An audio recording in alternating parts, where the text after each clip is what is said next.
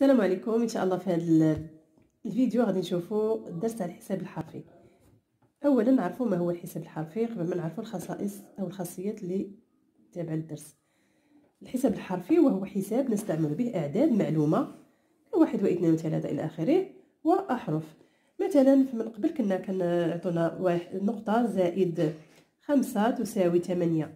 وكنا كنقلبوا على أشنو هو العدد اللي غنزيدو على خمسة باش يساوي لنا ثمانية. آه، مثلا هنا ثلاثة زائد خمسة تساوي ثمانية. حاليا مبقيناش غادي نستعملو نقطة في بلاصة النقطة غادي نستعملو أحرف. ك إكس أ بي أو أي حرف. ولهذا سمي بالحساب الحرفي.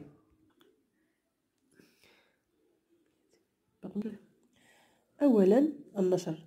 تعريف النشر هو كتابة مجموع أو فرق على شكل جداء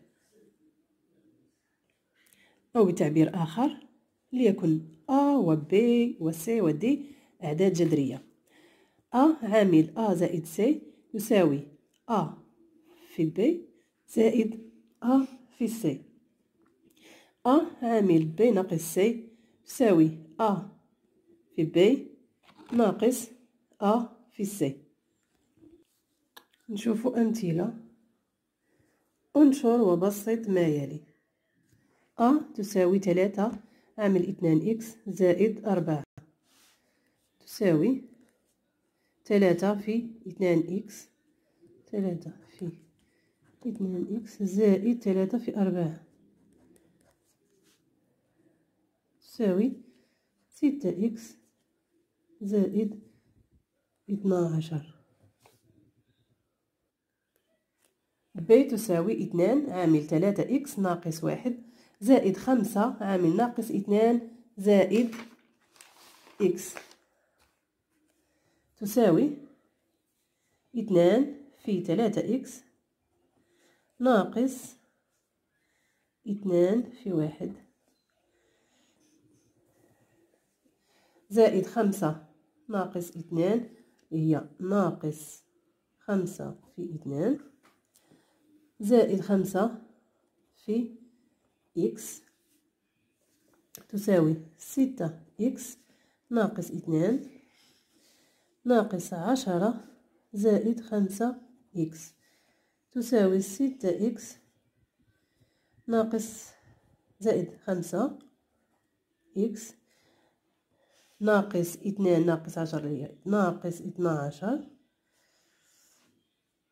نجمعوه les x بعضياتهم نجمعوا الأعداد المعلومة بوحدها والأعداد المجهولة بوحدها. عندنا ستة x زائد خمسة اللي هي إحداعشر x ناقص إثناعشر.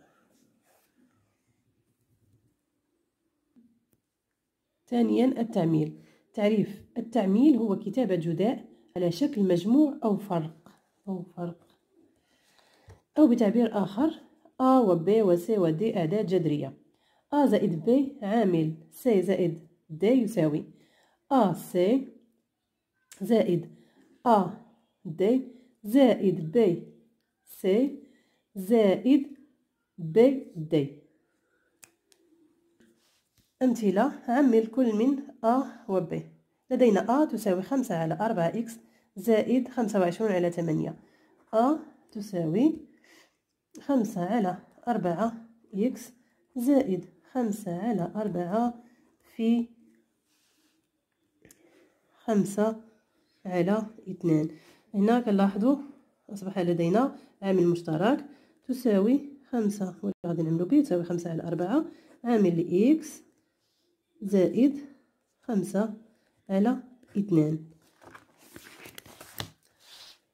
ب تساوي اثناش على x أس اثنان زائد ستة x ناقص ثمانية عشر إكس إكغيك هنا غادي نقلبو على العامل المشترك. تساوي اثناشر كتساوي ستة إكس في ثلاثة إكس.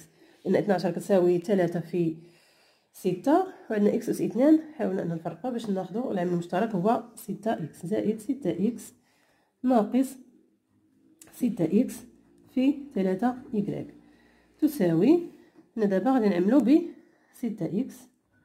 ستة إكس عامل ثلاثة إكس هنا ستة إكس أي أن ستة إكس مضروبة في واحد غنديرو زائد واحد.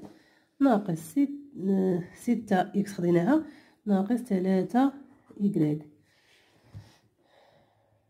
كنتمنى الشرح يكون مبسط ومفهوم وشكرا.